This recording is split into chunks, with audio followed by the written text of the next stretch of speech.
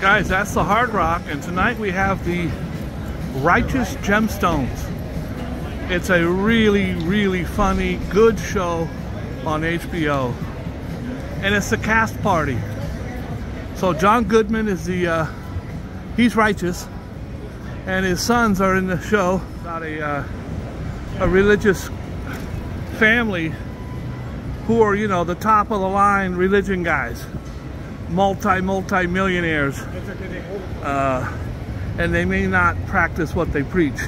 Danny McBride is hilarious.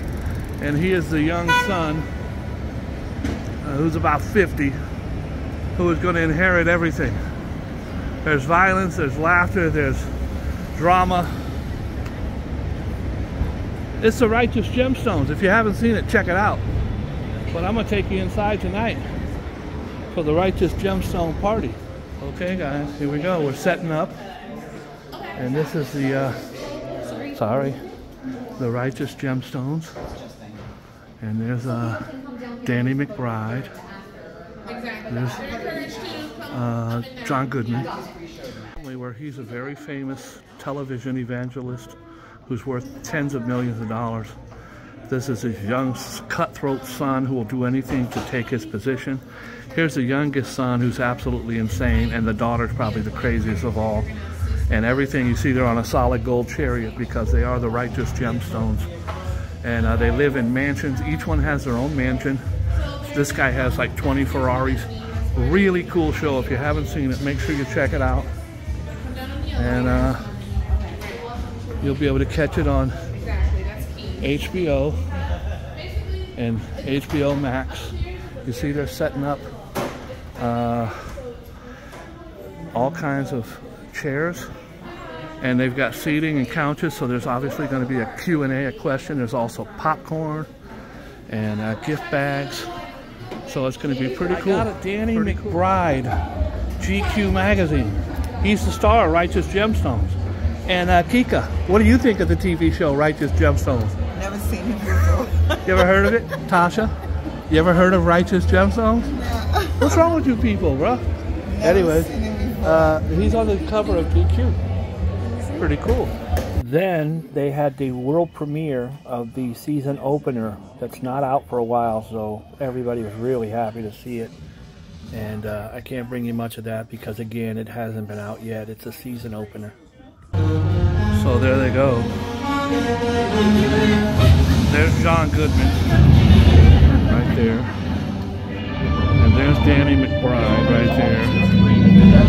And there's the dude from Glee right there. And uh, they're just uh, here for their pictures.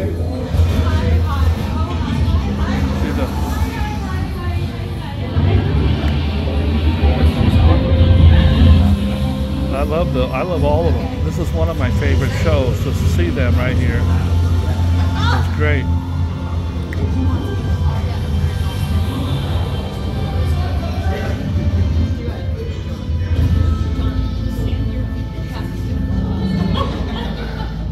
There's John Goodman.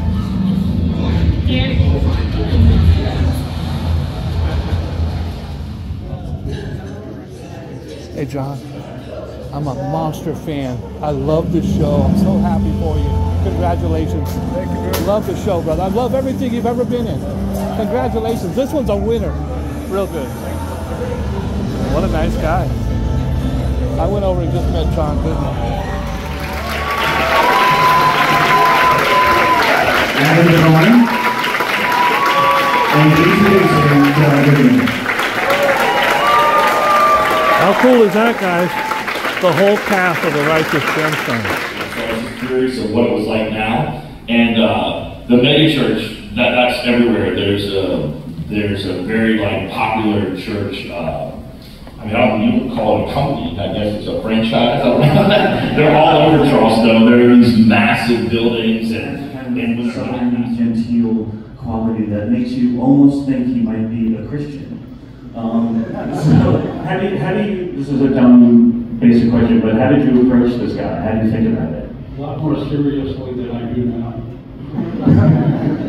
I, I, I, every season I find out something else, you know, I had a little biography of him in my head. Out the window. So, uh, just justify what's ever on the page and what's updated, which is pretty good. So I like it. It's, uh, I'm fluid. Dee, uh, you obviously. Hi. You took vice principals and were brilliant on that as you are in this. Um, how did these guys find out, find you for the first time? Like, were you, aren't you like a gremlin? Still gremlin? Uh, Always a gremlin? What they call now an alum. So I, I go to improv shows there sometimes, but I don't do the main shows on the weekends. So that's an alum.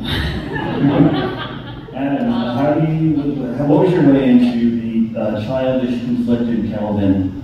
This is my life, man. This is, I'm arrested development for sure. They saw every character that I've ever done, like, just some more of that.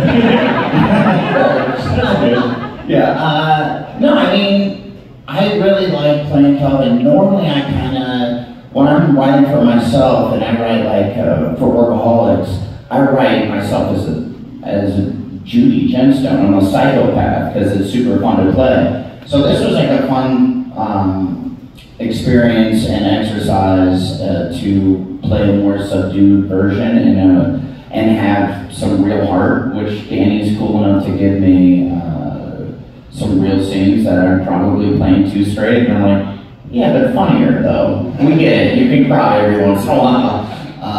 So it's been it's been fun, like trying to gauge that. Um, so how, yeah, what's it like playing that woman? Um, it's real fun. Uh, it's it's hard though sometimes to carry the straight line when all the psychopaths are out.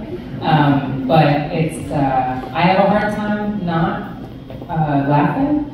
Um, but you're right in what you say about about there being these moments where you're like, what's happening, and then all of a sudden you're in tears.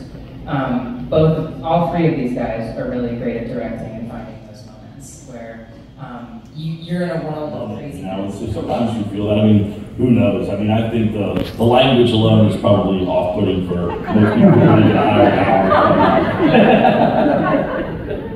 English?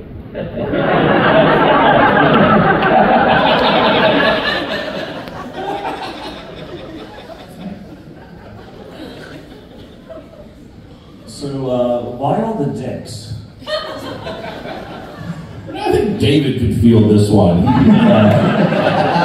I don't think there were any in this episode, were there? So, if you haven't seen, there was. There was one dick, yes. Yeah. I, I remember watching the episode where it's it's the videotape of you doing coke and, and, and you're standing in front of your crew. Because Jim Wilson plays Levi, who's, you know, an incredibly ineffectual crew member. And, uh, and you're standing there and, and the dick is so close to your head on the screen. And I watched my son clock that and I've never seen him laugh so hard. So it, was glorious, actually. You know that that that video of uh, like in the pilot or the video that Jesse's being blackmailed from. That was the very first thing we filmed in the show. It was just like that camera up and and, and you know everybody got cutting loose and dicks coming out. And uh, I think it kind of set a weird bar. I think we, we started laughing at it and. You know, sometimes the dicks are written in, but sometimes these guys will just put the dicks in themselves. You know? Yeah, I feel like there's a one-upsmanship going on. something else emerge and it like it would be better. So we always just, I guess, give ourselves that attitude to adjust, change, adjust, and see what's They're bringing the food down. Yeah, you mentioned earlier that there's They got plates and plates of food. capable And capable but there's also a sense of playfulness that is, it- that I just wanted to just point out that from a director's standpoint, how joyous it is to be on set with this cast because th- there's invention, there's reinvention, there's a new way to look at a scene that you didn't think of the night before when you were storyboarding it. You can get to set and you can look at things a little differently and still honor the script, but find an essence that finds a new honesty or humanity or humor or whatever it is that we're starting to dig for. And if you don't have a cast that's down to clown, as um, one of our actors once said, uh, uh, uh, and then, then it's, it's such a bummer to have to be locked into the rehearsal and everything so rigid and, and constructed that if you can make things organic when you have a group of people like this, that every, everyone is, is writers and creators and, and, and multi-talented and can sing and dance kind of. It's, it's kind of amazing to just like watch new abilities coming out of old friends, and uh, and so it's really impressive to watch that growth, not just of each individual. To go back east and make low budget films, right? we were, I feel like we were guys from the South who were like trying to make it in LA. We had zero connections there. We were waiting tables and running and doing PA jobs and, you know, you want to get that fat pad in fucking Glendale, that's, you know, that costs some money, you know, you run out of it, you know? and so we would, I was always constantly running up against finances. Like, it, I would get to a point where I was too much in overdraft and had to move home again. And I would wait tables or substitute teach and save up money and then move back out to LA again and like try again. It was, it was sort of that kind of for a few years. And, uh, Jody was like, you, you know, David shot George Washington. He, he graduated a year before Jody and I, and like basically like almost like the day after we graduated, you came back with that. I'm going to check out now, and I think they're going to have dinner upstairs. There's a reception upstairs. Hey, Danny, it's my favorite show, Playboy. Good job, man. Really. Hey, man, you're good. God bless you, man. All right, guys, I hope you enjoyed uh, behind the scenes premiere party for the Righteous Gemstones. Uh, the party's up there on the level now. I'm going to head up there and eat some shrimp. How about that? So you got the autograph guys waiting around outside. Uh, problem is they just sat down to eat, so they might be here a while. These are the uh, the big cars for the big shots. Uh, John Goodman was very sweet. Uh, Danny McBride I had never met before. John Goodman I go way back, way back with him at Planet Hollywood days.